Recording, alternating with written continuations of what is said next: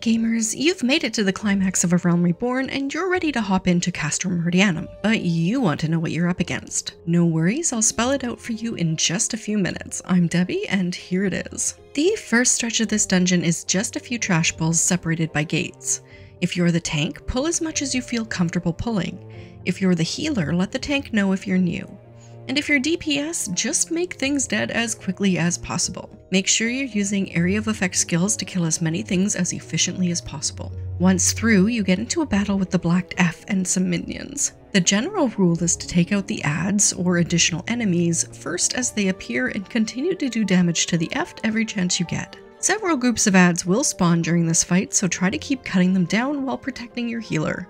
If you're a DPS and you're being hit by something, make sure to bring it to the tank so they can take it off of you. Once the Eft is down, you get to move on. Head into the disposal chute to get to the next area. There are a couple more packs of trash to take out before you reach the Magitek Vanguard F1. Make sure to pay attention and dodge the AoE attacks. Don't stand in the poop. And tanks should be using one of your damage mitigation abilities for tank busters. Otherwise this fight is pretty straightforward, burn it down. After fighting three Colossus type mobs, you are thrown into a bit of a gauntlet.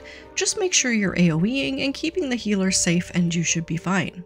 For the final boss, Livia, remember that her big circle attack will go off in the order of the circles were laid down, so after the swing, move into that space to be safe from the explosions.